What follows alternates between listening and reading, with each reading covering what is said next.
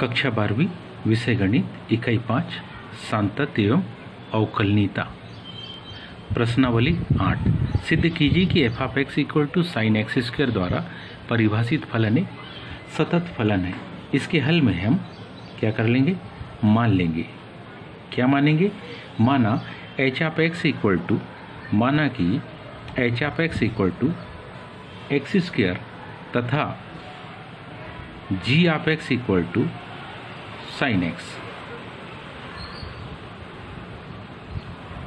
अब ध्यान से देखिए क्योंकि जो हमारे पास एच ऑफ़ एक्स है, यह कैसा फलन है? बहुपद फलन है। यह बहुपद फलन है और हम जानते हैं, प्रत्येक बहुपद फलन संतत होता है। अतः यह कैसा होगा? सतत फलन होगा। अतः यह सतत फलन होगा।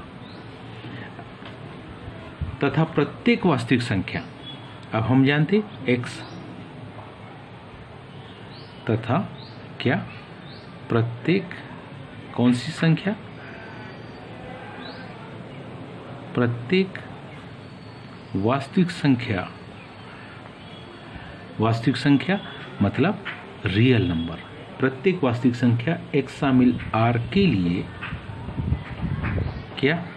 G of x equal to sine x हम जानते g of x equal to x की कोई भी वैल्यू रखे तो साइन एक्स की वैल्यू कुछ ना कुछ आती है। और ऐसी कंडीशन में यहाँ पर जो मान आएगा, वो कैसा? ये सतत फलन होगा। अतः संयोजन फलन। अतः कौन सा फलन? अतः यदि हमने इसका संयोजन किया, अतः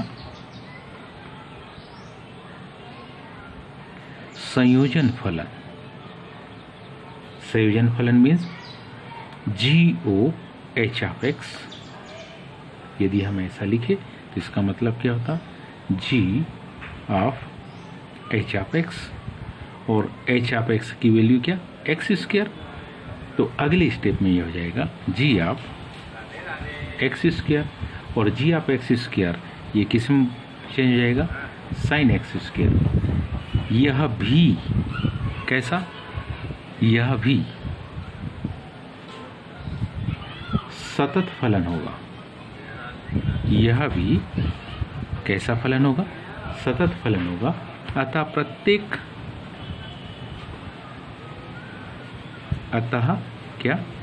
प्रत्येक एक शामिल आर के लिए